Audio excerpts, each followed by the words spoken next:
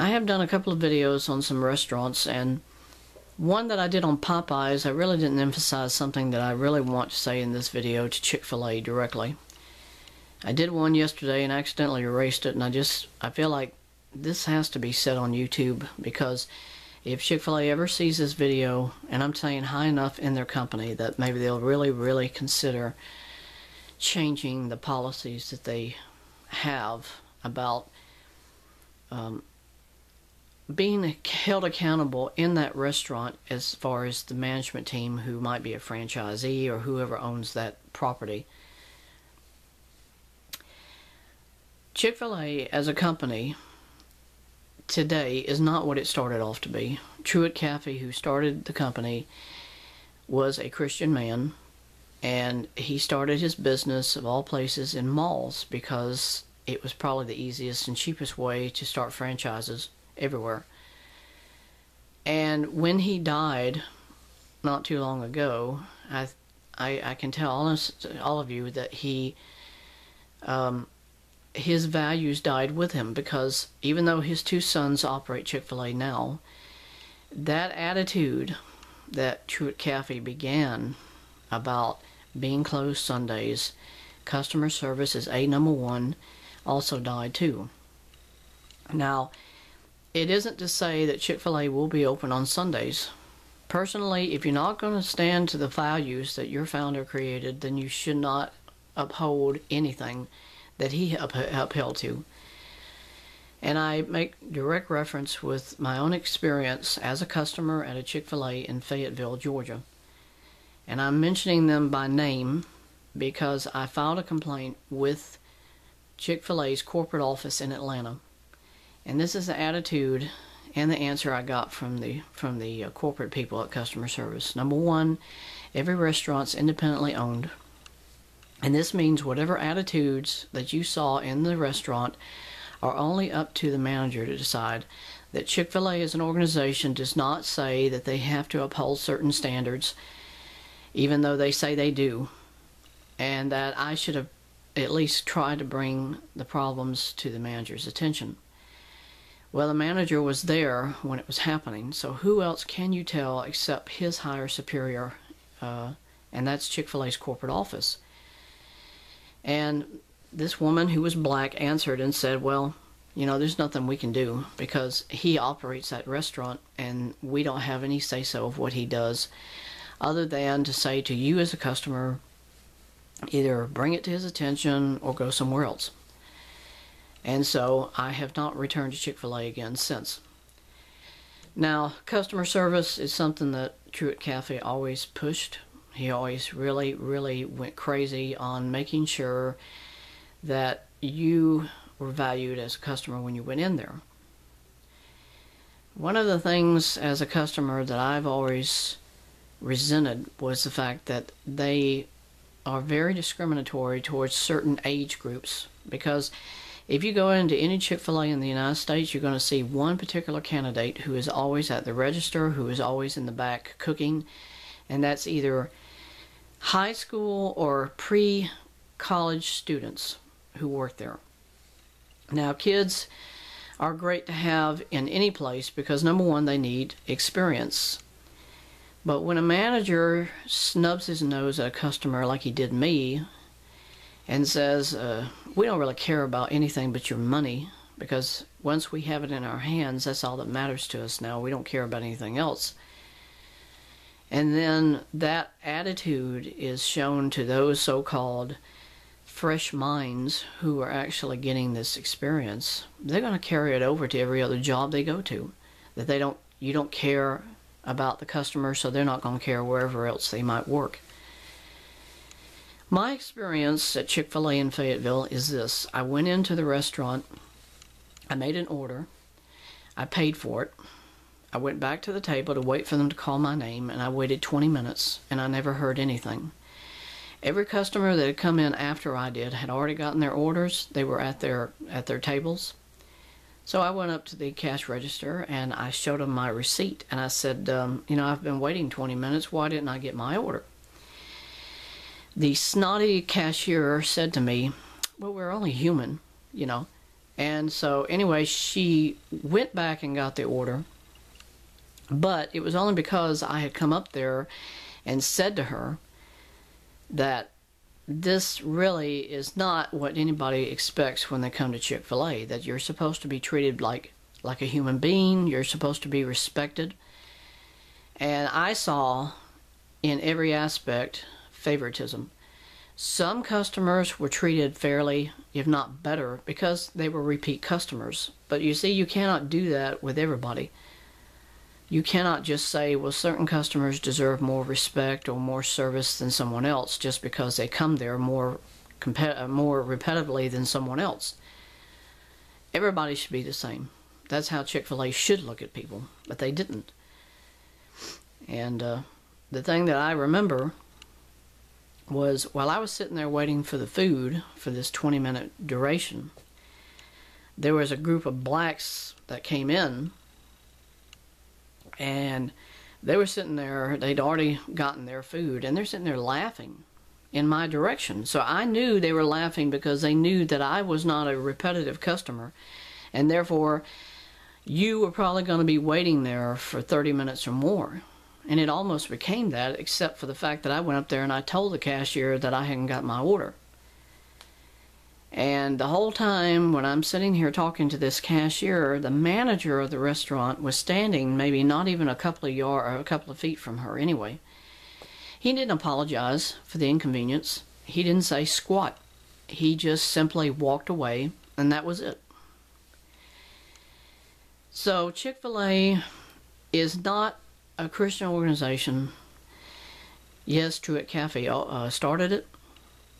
Yes, most of the customers that come to Chick fil A are Christian because they are the ones that are so admirably or admirably, um, in other words, they respect Chick fil A only because of the fact that they honor the Sabbath day. And I think what Cathy started was a very good idea, but I don't see where he can now that he's died, that his sons can say the same thing about customer service. Because when a manager of a restaurant can do that and then you report it to their higher corporate people and they don't care and they don't say that they want to do anything, then the next stage of this is to ask yourself are they really what they claim they are? And I think with what I saw in the restaurant, that um, they cater to certain people. Most restaurants do give discounts to civil servants. They do not give discounts to anybody else. I don't see where, because somebody puts their life on the line as a civil servant, should it be any different than somebody who, let's say, works at a, um, a convenience store. Those guys are in a life and death situation every single time a customer comes in. Why? Because somebody can pull a gun out and blow you away, and you really have no defense. So why doesn't Chick-fil-A say, you know, we got to give respect to other people, just not the civil servants people. Other people put their lives on the line, but they don't do that. For a very long time, I didn't go to Chick-fil-A because of that, because I thought this is discrimination. You know, they get a discount only because they wear a badge or because they wear a uniform. And yet, so many other people in the private sector who are not civil servants, who aren't special in any other way except that they work for a place where their lives are on the line too. But Chick fil A looks the other way. They say, Who cares? You know, you're not a civil servant. I'll give you another secret. You know why they give discounts to civil servants? Because they make a lot of money. And they want people to come back who make a lot of money. And what does that say? Chick fil A isn't Christian because all they're looking for is that almighty dollar. They don't care about what it's about, which is customer service, respect for each other or for the customer who comes in. And none of that exists. I only will say one more thing about Chick fil A, and that is that um, I tried to apply for a job there once before. And what I saw in their pamphlet, in their booklets, everything, it made me feel really good about the company. I didn't get the job, but what I'm saying is when you go in as a customer now and you think, they're telling the employees one thing when they're going in for orientation, but then when you see them in action and you see the kind of attitude they take in the restaurants, you think it's totally the different thing. It's the total opposite. The company prides itself on Truett Cathy's uh, ingenuity with uh, manufacturing and, and, and processing chicken sandwiches to the masses and his Christian background, but then when you see it in action, now that he has died, something's been lost. Something has died just beyond just Truett Cathy himself. And if Chick fil A is watching this video and y'all don't care anymore about customer service to the point where I saw it in action in your restaurant, don't do yourself a favor by trying to continue something that Truett Cathy started as a Christian because he held up to his end of the bargain. And now that he's died, his sons are probably not even in control of, of Chick fil A. It's probably operated by a board of directors. And what y'all should do is say, we don't want people to think that we are Christian, and you should stop being closed on Sundays. You should just stay open every day of the week. I mean, that would be the most uh, realistic thing you could say to a customer is, don't hold in your viewpoint that we're here to help people because of what our founder had really been um, projecting to uh, to the customers. Another thing that has proved indirectly what is Chick-fil-A's real foundations is uh, gays were picketing and uh, rioting a couple of years back, if you remember, because they don't hire homosexuals. They do not hire gay applicants. And if I'm not mistaken, they caved into that too. They said we cannot say that we aren't allowed to, to hire people on the basis of uh, our own religious beliefs. And so they hired gays. So a perception is one thing, and I think what Truett Cathy wanted for Chick fil A in the beginning was to uphold certain standards, and they were very good. And now that he has died, I think the company is going 360 degrees back to what it was not to begin with, and that is that uh, it's all about the almighty dollar.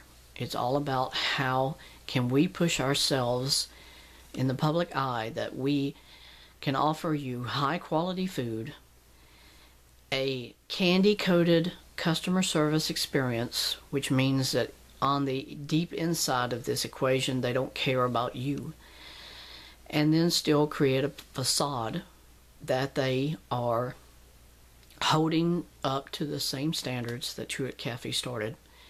And that's a lie because they're not. And when I went into that restaurant, it only confirmed what I already knew about Chick fil A that when he died, so did everything else that he valued as the founder of that company. And his two sons might still very likely be Christian, as Truett Cathy was, but I don't see any indication from my experience at that restaurant that that's true because they would never ever let a customer say to um, a manager of a store a problem and the manager sticks his nose up and walks away or acts like it didn't happen. And then when you go to the corporate office people, they say exactly the same thing. I don't think that's what Truett Cathy ever intended it to be. And you know what? If if Fayetteville is no different from any of the other restaurants, the dwarf houses, everything, then that means that I'm wasting my time and my money to go to any of the other restaurants thinking that they're going to be any better than that one experience or that one restaurant because it means they all have the ultimate say of what happens in those restaurants and nobody else higher up in Chick-fil-A can say anything other than that. So in completion of this video I say don't judge a book by its cover. Don't judge Chick fil A on the attitudes that they project on their advertising. Look at it from within the company. When you walk in that restaurant and you ask yourself, are they really being fair to me or are they just trying to get my money and kick my butt out the door? So thank you for allowing me to share this today.